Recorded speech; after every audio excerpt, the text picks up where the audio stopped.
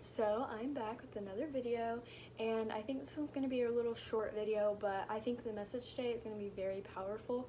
So yeah, I'm really excited for this one and I know a lot of girls like me, uh, younger or older, just I know like really need this message and I think it's very important for girls like me in today's day and age. So I hope you keep watching and I'm excited for this video. So I know a lot of girls like me or anyone my age, boys and girls, all of us like to idolize and find our identity and try to be accepted by many toxic things like social media or friends or boys or whatever. There's so many things and we all have that one thing that is really hard for us to stay away from and we just always want to go for that go to that for acceptance and to try to find our identity in it if you know what I'm saying. I know a lot of it looks happier and it looks like it'll fulfill us like whenever we go to it and it just seems like it'll make us feel accepted and it'll make us feel wanted and it'll make us feel like we have a purpose instead of going to God. And is that really true? Will all of that stuff fulfill us and make us feel like we have a purpose and an identity more than what God would show us? Yeah, that other stuff, social media, all of that would give us a short-term satisfaction, but that leads leads to long-term devastate devastation, um, which really means yes, it seems happy. It'll make you happy for like however long, but in the long term, that is ruining and wasting your time away from God. And that's exactly what the enemy wants. He wants us to spend as much time in his stuff and he wants us to be away and distracted from God as much as we can. And God is just over here ready to give us as much joy and happiness and we can find our true purpose and identity and every single thing in God and it's literally one step away and we can turn our backs from whatever toxic toxic toxic stuff and go straight to God. And for me, I know from both ends, from going to all of those things and then going to God, I know that God gives me so much more. I know I have a purpose because I have God. I know that my purpose is to be a light and to just spread His love and be that joy that someone needs. Be that good and happy friend that everybody wants. And I just know that with God, I can do anything. And truly, it could seem like, oh, I'm just saying that so people would go read their Bible. No, I'm being 100% with you. I'm being truly super honest. Like, I just, whenever I went to God, it was like so easy. All I did was simply create a relationship with Him even though I already did have a relationship with him. I mean, a stronger and deeper, like, heart to heart connection with him and pray a lot more and depend on him more and truly do everything through love and through him because God is love.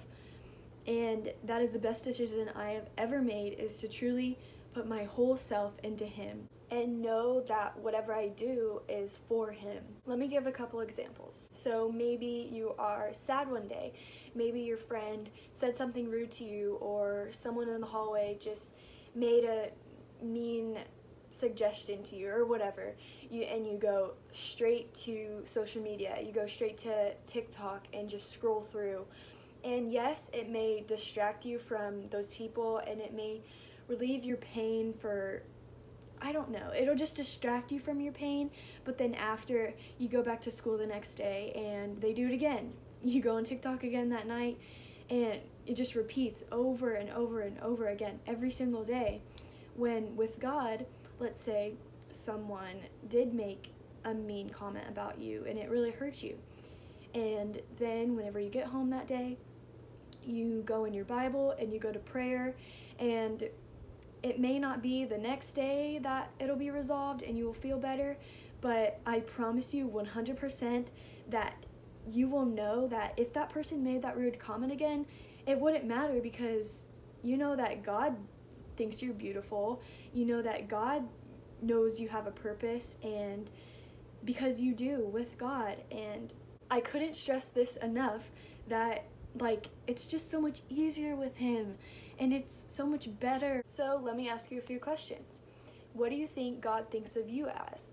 Do you think he thinks of you as a very good and faithful servant and he knows you have a strong relationship with him? Or do you think he thinks of you as, oh, she's she's okay. I mean, she's good.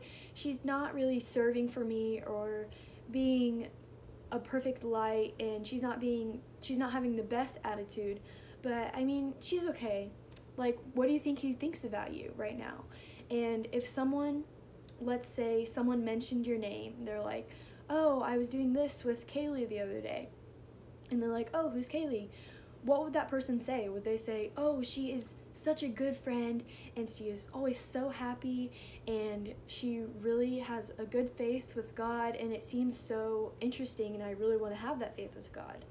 Or are they going to say, oh, uh, I mean, she's kind of rude, but I mean, she's okay. She's really popular and she, like, she has a lot of followers on Instagram and stuff, so I think she's cool. Like, what do you really, like, do you, which one do you really want to be known as? And yes, other people's opinions don't matter, but in that situation, don't you want them to think of you as a lot happier and just a better friend than that other girl? I think so. So, to change and to change your attitudes and your perspective about God and to really find your identity through Christ, just simply spend a certain amount of time of your day at a specific time of your day to just put away your phone, put it in another room or something, and just simply read the Bible. If you don't have a Bible, get the Bible app. It's free and it's a really good resource. And if you do have a Bible, I'd suggest using that over your phone just so you're not distracted from the notifications and stuff. Yeah, just start. If you don't know where to start, start in Matthew, Mark, Luke, and John, and then you can go to Genesis or Revelation or whatever Psalms is good, uh, Romans is good, First Peter is good. I read that and it's very short. It's only five chapters, but First Peter is really good. Even if you are a Christian and you're looking for a new um, book to read, I recommend First Peter. And then after you create a stronger relationship with him, and as you're creating that relationship with him, really whenever you're doing things and whenever you're at school or in your sport or on social media or whatever, really think about God. Would this please God and would this make him happy? Am I doing this for a purpose through God? Am I doing this to make him happy and I'm do am I doing this to glorify God or am I doing this to make me feel better and make the people around me feel better and, and make the people around me feel like I'm amazing and try to be the most popular when I want to be the most popular in God's eyes. I want him I want me to really stand out in his kingdom and I really want him to think that wow, she is awesome. She has done so many things for my kingdom. She is she has a strong relationship with me. We are very connected and she's going to get lots of rewards when she comes to heaven.